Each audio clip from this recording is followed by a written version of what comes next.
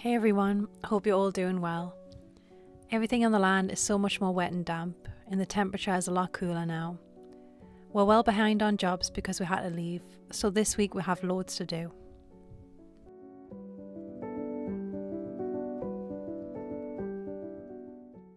We started off by assessing and working out the next steps on the barn conversion. We also wanted to check on our rainwater collection. We then did a quick check on our solar setup on the outhouse and also turned back on the gas bottle. We moved our camper van to a more open space so we could get more light on the solar panels.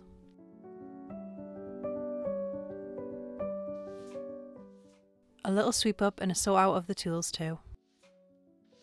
Hola, bom dia. It's a very cool, crisp, overcast day here. Well, that's my line. I know, I know, I know. That's my line. That's my line. That's my line. Hola, bom dia. It's a very cool, crisp, overcast day here today, and we've got loads to get on with. yeah, we surely have. We've got lots going on. We want to get get back on cracking with the barn again. Obviously, just things to land clearance to do as always. It's a big list what we've got to do. Fix Well- the generator. Generator is a big one because um, last time around it broke, so we've picked up the part for that now. Yeah, so fingers crossed we can get that fixed because everything else kind of depends on the generator. Yeah, it really does. So one of the jobs that we'd like to do is to concrete this little area floor. We didn't manage to do that last time. So we've picked up some plasticizer so we can do that job. So last time we were here we started pointing this wall. I think we're going to go in a little bit and bring the point in a little bit further out because I think we did it too far into the stones last time. And these walls still need a jet wash because our jet wash broke last time so we just need to jet wash these down before we can paint this. Yeah, that was down to the generator breaking. Yeah, we thought it was the jet wash, but it was actually the generator that was broke. And we're going to be rendering over this wall because this concrete is so hard to get off, so we're just going to render over it. So what I what I've been doing is, as I said before, me and Laura's picked up we picked up quite a few stuff to get on with a few jobs, and we need to fix the generator as we said. So I've got the part in here to fix the generator. So I've got a part somewhere in here. That's the bit that we need to fix the generator. So last time something went on on the adapter part, so I've picked up that. So hopefully, fingers crossed, it's the right one. Also picked up uh, an extension cable as well because last time we only had two and it was hard to pick up an extension cable that fits our generator out here so we've picked up that now so that should be help us to have more extension points for jobs that we want to do in the future. We've also picked up some plasticizer and as you can see I've also got all my tools all laid out ready so that I, can, I know, know what I can pick to do the job. We've also picked up um, mighty hoover as well. That's to clean out the rat poop and also we're going to be hoovering out the barn as well today as well and doing some work in there because then we want to clear up some of the debris because you can only get so much up with the jet wash. So the hoover is a it's an industrial hoover so it just picks up all the extra debris so that when we do start kind of doing the flooring and we start doing certain parts, rendering and things like that we can get it cleaned out every single time so we're always working from a clean area. And also as well, a special edition on the land. Laura's mum got me this for Christmas. It's my a good old fashioned tool bag. It's like a handbag, isn't it, for, for women? So uh, men will relate to this. Women get excited about handbags, men get excited about tool bags. So uh, now I can put all my tools in here if I need if I need to use this. Pick up this tool, whatever I need. Got my tape measure on there, and I can go through and get all my different stuff put it in and then go dossing around the land with my little uh, man bag. so now I've got my man bag already. I'm gonna. The first job, as we said, is to do is to fix the generator, and I've actually picked up two parts just in case, in case that one's not the right size. I think this one is gonna be the right size, but I've just picked up this just in case. I'm gonna take a screw, a few screwdrivers just in case, and I'm also gonna need these. I think it's gonna be an electrical job and um, I'm also going to as well I'm going to take the crimpers down and some electrical tape just in case I need to crimp one of the electrical points now we can go and do the job Big thanks to AG1 for sponsoring this week's video. There's always so much to do on the land every day, and sometimes it can be hard to build up routines that are good for your physical and mental well-being. That's why I'm so glad that AG1's become a big part of our morning ritual. It's a convenient and comprehensive supplement. It's just one scoop once a day mixed with water. AG1 contains over 70 ingredients to support our baseline nutrition. AG1 is a big part of my morning ritual. It gives me so much more focus and energy so I can slam these posts in. AG1 supports my immune system. It's also a daily dose of my vitamin C and zinc. It's a powerfully simple supplement with natural ingredients, vitamins, minerals, whole food source nutrients, and more. AG1's designed to support your body's needs every day. They're here to make healthy habits beautifully easy for you. So head over to ag1.com forward slash the origin homestead to try it for yourself. AG1's given our audience a free year supply of vitamin D3 and K2 in five AG1 travel packs with your first purchase. And thanks again for AG1 for sponsoring today's video. So this morning the farmer called us over, we called Dan over, and he gave him a big bucket of lemons and oranges. So we're enjoying. I'm starting to understand him a bit better now as well. It's hard, it's, it's like when you kind of like, you know, you're not immersed in the culture all the time, it's hard to like pick up the language all the time. But it's kind of in nervous situations, you always can pick it up a bit better. So when the farmer was talking to us this morning, I'm starting to pick up a little bit more. Mm-hmm. So um, we're just walking down the bottom of the land now and we're going to go and fix the generator. And uh, I'm excited to put to use my man bag. Mm-hmm. Where's your man bag? I'm just here to look pretty hold the camera. Neat oranges. Yeah. The good oranges. I'm here for moral support and to create the vibes. Yeah. Because I, I'm, haven't got any idea about electrics, but I'm Yeah, sure I'll I learn vicariously. The last time I did electrics, remember in the van, I nearly killed myself. Yeah. Hopefully Maybe we need to watch some YouTube videos, but we're gonna uh, we're gonna attempt it anyway. So as we were saying last time, the generator, what happened was, is basically, when we were kind of using certain appliances, it's burnt out inside of here. I've just had a quick look, and I think, I don't think it's going to be an electrical job, I'm not too sure until I take this off. But hopefully, by looking at that one there, I feel like I'm just going to be able to just take these out and disconnect the positive and the negative and the grounding cable. So hopefully I can do that and then I can just reconnect the positive, the negative and the grounding cable back up again to this and it should be an easy job and then we can just get cracking with the actual real jobs that we need to do. So fingers crossed.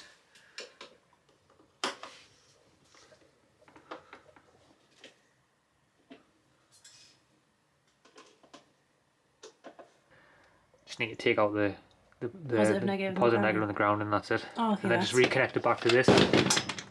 And then uh, that should be should be job should be a good one. That's easy enough, isn't it? Yes.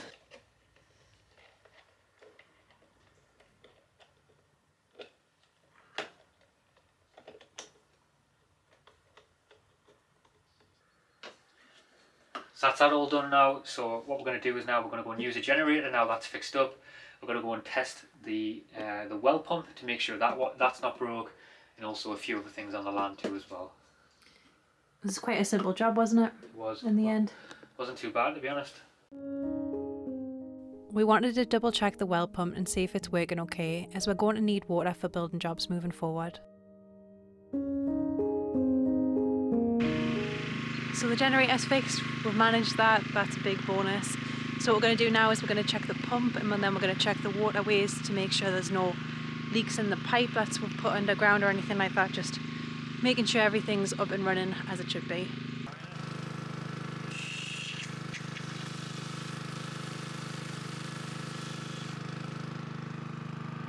Delta Hotel over the main gate.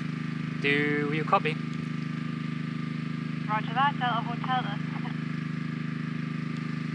Cool. Uh, how's the water looking up there? Is the water looking good? Is it working?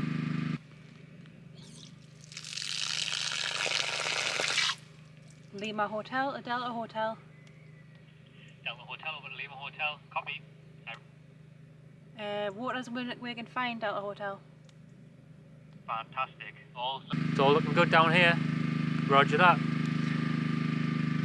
What? It's code. It's security code, Laura. What security code? It's me security code name. I'm Delta Hotel. your Lima Hotel. Okay, Delta Hotel. Do you copy that? Lima Hotel? Yep, roger that, Delta Hotel. Lima Hotel out. So Laura's just gonna go and get our new addition to the homestead. Um, you've seen Henry. This is a new person that we've got on the job, a new apprentice. So like I said before, what we're gonna do is we're gonna start. There's a lot of kind of rubble that's around here. A lot of things that hasn't been tidied up, and it was high, kind of hard to pick it up. So that's why we've got the we've got our little apprentice, a new apprentice, to come and help pick it all up. So uh, Laura's gone to get that now. Welcome, Titan. His name isn't Namby Pamby Henry. It's Titan. Yeah, it's not Archer. It's not. It's not a uh, Henry. It's Titan. Titan. This puva means business. Hopefully. Yeah. Hopefully it doesn't break. We then got to work on hoovering and sweeping up any debris and dirt that was left over from the last job so we can have a nice clean area to get on with the next ones.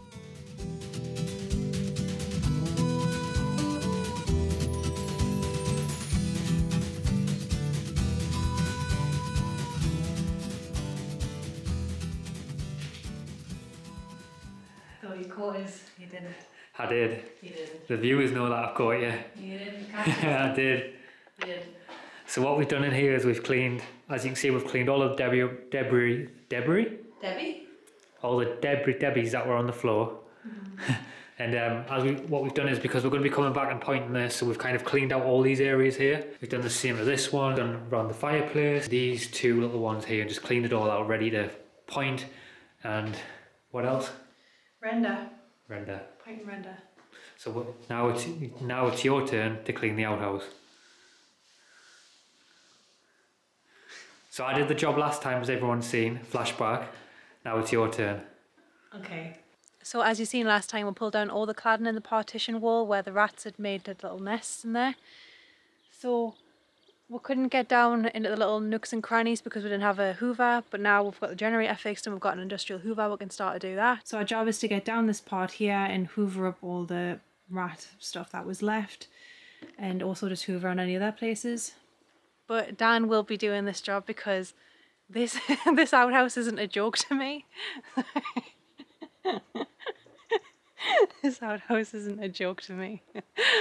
so Dan will be doing this job because this outhouse is actually not a joke to me because I've probably had about 15 nightmares about this outhouse and I'm not even joking about the rats in there and I'm sleeping inside and there's snakes and there's rats.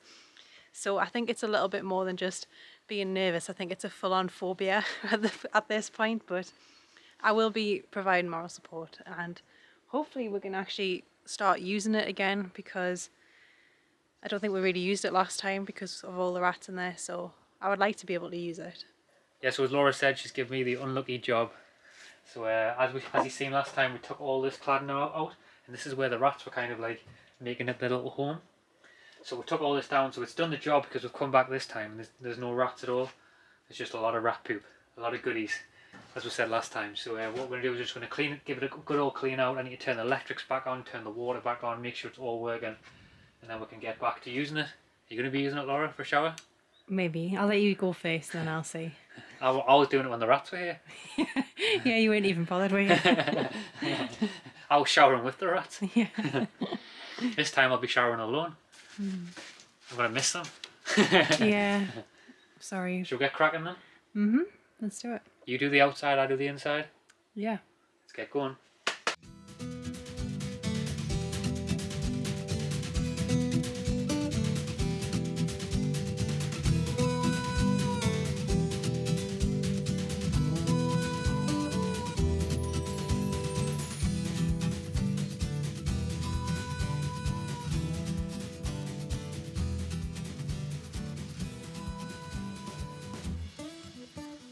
House is looking so much better now.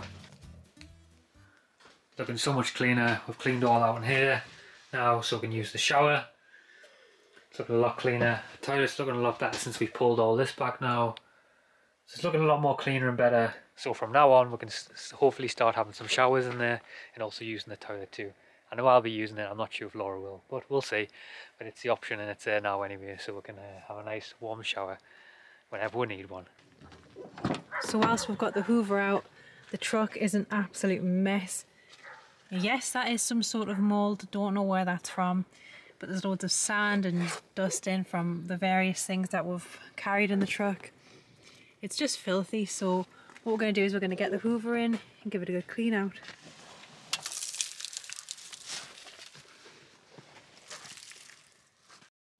The truck has been well put to work on the land. We were grossed out to see how much mould was forming in there.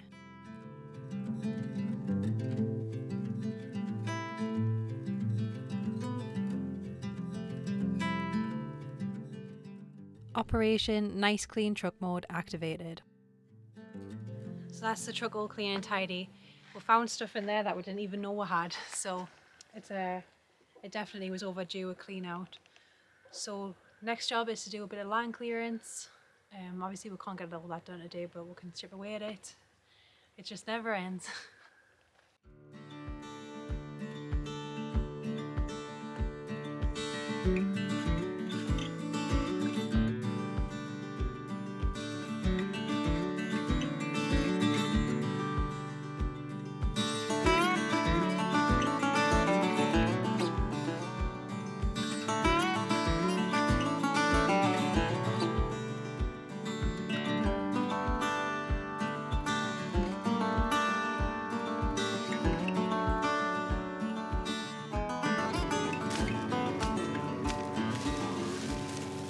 using the trusty old Viking axe to, to prune the trees. I seen the farmer a while back using a machete and uh, I thought I haven't got a machete but I've got an axe so I'm sure an axe will work and it works so well. We've been using like, um, we know people who've said use electric shears and we've tried them and they are quick but um, and people obviously use like proper pruners but there's no quicker than the Viking axe so that's what I've been putting to use.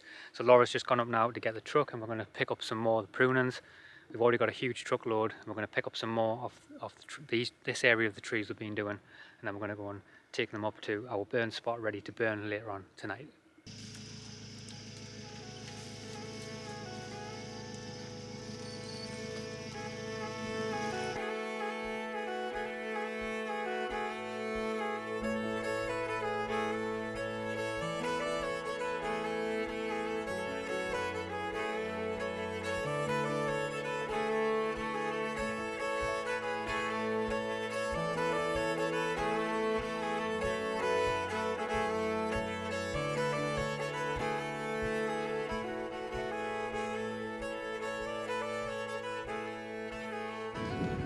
So we're just heading up to the burn pile now where we burn our prunings.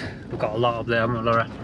Yeah, we've got quite a lot to burn, but this time of year is good because you can have a fire, you can uh, enjoy the fire in the night time and you can also get some pruning done and just do a job as well. Yeah, it's always an excuse to have a fire. Mm -hmm. And uh, I think we're, we're thinking as well tonight that we're going to make some jacket potatoes as well once the prunings start to die down. So yeah get some. You, you, can't beat a jack of a tea, can you? You can't.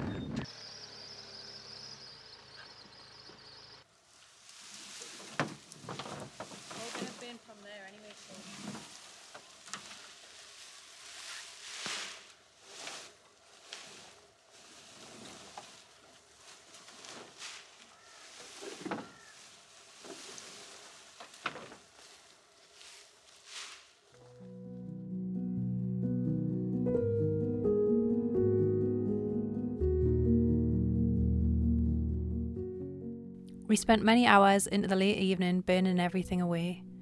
There's something so special about sitting around a fire on a cold winter's night, watching the flames and listening to it crackle away. We call it the forest television. As the fire burns off, sometimes watching the embers glow is better than the fire itself.